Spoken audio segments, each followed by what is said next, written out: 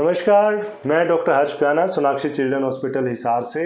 आज मैं एक ओपीडी के किस्से की बात करूँगा। एक मदर आई मेरे पास शी सेड कि पेट में दर्द है बच्चे के।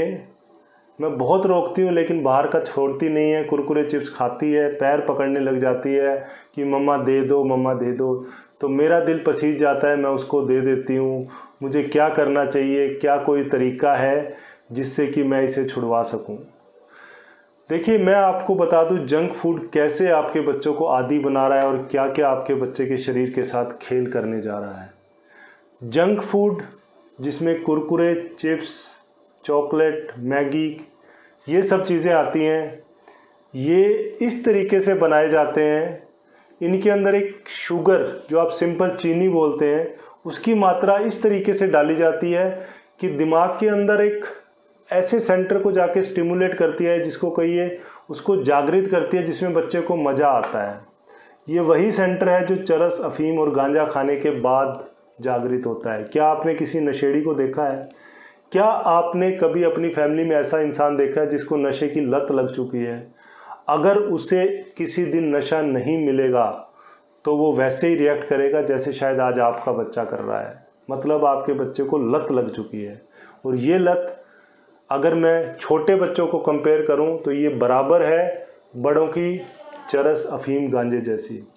अगर आपके बच्चे को कभी चरस अफीम की लत लग गई तो क्या आप उससे सिर्फ़ रिक्वेस्ट करोगे? या हंस के बता पाओगे अपने डॉक्टर को कि, सर, मानता ही नहीं है, मैं तो बहुत कोशिश करती हूँ, लेकिन अब क्या करें? सारे बच्चे खा रहे हैं, मेरा बच्चा भी खा रहा है। अगर आपका बच्चा कभी कभी खा रहा है, पंद्रह दिन में, एक महीने में, दो महीने में, एक आधी बार खा रहा है शायद उतना नुकसान नहीं है, लेकिन अगर वो डेली खा रहा है, डेली एक पैकेट आप खोल के दे रहे हैं, इवन बिस्किट भी मैं इसमें इंक्लूड करना चाहूँगा, biscuit is same as Kurkure chips biscuit कोई बहुत ज़्यादा हेल्दी नहीं है। तो उसको उतना ही नुकसान होने वाला है, जैसे किसी एडोलसेंट या अडल्ट को रोज़ नशा करने से होता है। और बच्चा आपका बेचारा मजबूर है, वो नहीं रह सकता, उसकी आदत बिल्कुल वैसे है, नशेड़ी जैसी। जिस दिन उसे वो नहीं मिलेगा, वो रोएगा, उसको अंदर से दर्द होता है, सच में दर्द होता है। लेकिन अब हम उस लेवल पे पहुँच चुके हैं, जहाँ हमें उस दर्द से बाहर निकालने के लिए कुछ टाइम के लिए स्ट्रिक्ट होना पड़ेगा, हमें करना पड़ेगा बंद। नहीं तो ये आगे चल के आपके बच्चे के पेट में एसिडिटी, खाने की नली के कैंसर से लेके आने वाले समय में बच्चों में डायबिटीज़ की बीमारी तक कर सकता है। तो प्लीज़ अपने बच्चों को जंक फ़ूड से बचाइए।